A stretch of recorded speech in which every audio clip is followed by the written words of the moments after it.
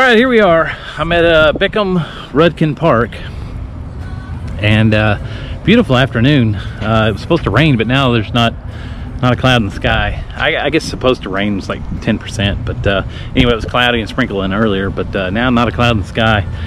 Uh, nice cool breeze, mid 70s.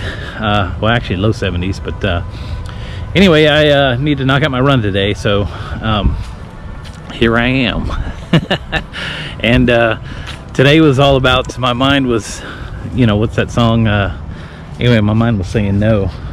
but no, my mind was saying yes. That's what it is. My mind was saying yes, but my body, my body was saying no.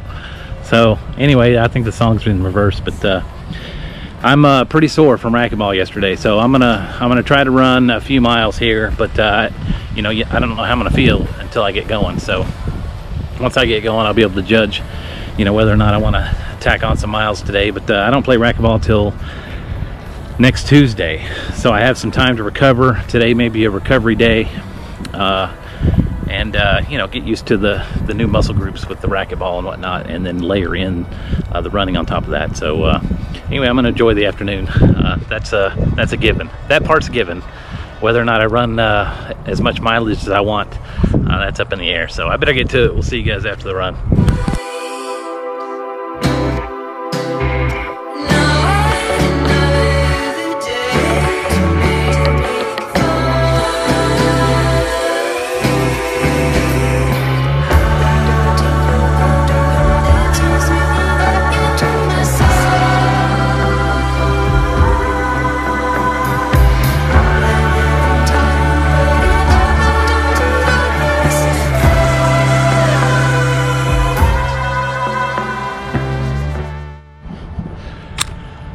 all right here we are.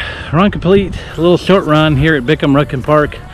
And uh, I guess it's kind of a recovery day uh, run from all the racquetball.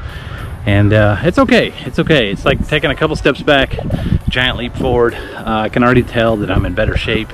I felt good all over even though I'm sore all over.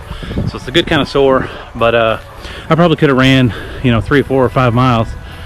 But uh, I want to make sure I recover uh, properly. I'm still a little tender in the lower back, knees, and things like that, muscle groups I haven't used before. So uh, a little bit of a short run today, a little recovery day, and then tomorrow I'm going to try to increase the mileage and, uh, you know, get some fuel in the tank and, and see if I can uh, push through the weekend pretty hard with the mileage. So that's the plan for right now, and then hit hard racquetball Tuesday, Thursday next week and start uh, kind of a, you know, two days a week, three days ish uh, doing the racquetball layered in with the running.